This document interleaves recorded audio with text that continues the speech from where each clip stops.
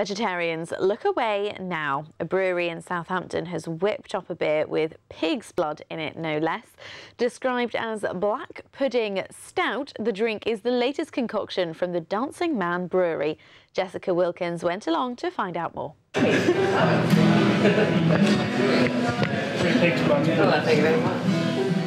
Pig's blood doesn't sound like an obvious ingredient in beer, but one Southampton pub begs to differ.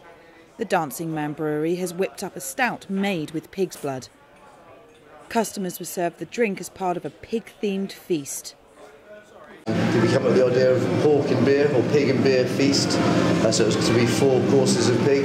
Um, it was very easy to pair some beer with pork. It's a, it's, a, it's a meat you can do a lot with, so you can balance a lot of flavour against it. Um, we thought with one of the courses it would be nice to go one step further and actually try and integrate the pork or pig element into the actual beer. Um, and it sort of went from there. It seemed like um, black pudding was, was an obvious thing.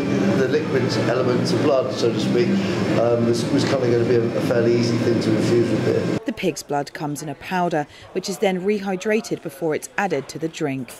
In, in England, um, I, I'm led to believe that, that uh, raw pig's blood is actually illegal. Uh, I don't believe it is in other countries, but um, in England it's certainly not. I you know, I think that would have been a bit risky to use anyway had we had it available. Um, what, what butchers do, um, and what our butcher Simon Upton of um, Upton's Bassett does, is you get freeze-dried blood um, that's uh, that's food safe, uh, food ready, uh, so you can you can make uh, black pudding uh, before it's cooked. It's it's it's edible, you know, it's, it's safe to eat.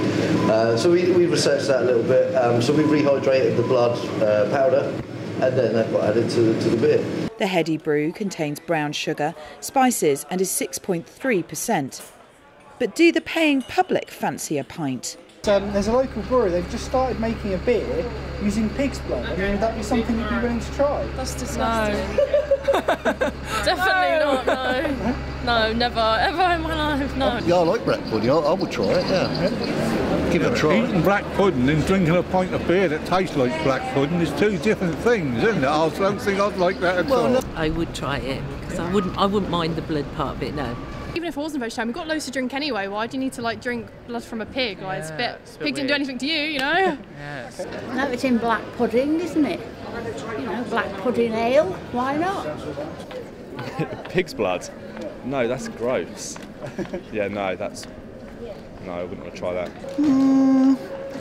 I would, I would try it uh, without, um, without saying I'd drink it all.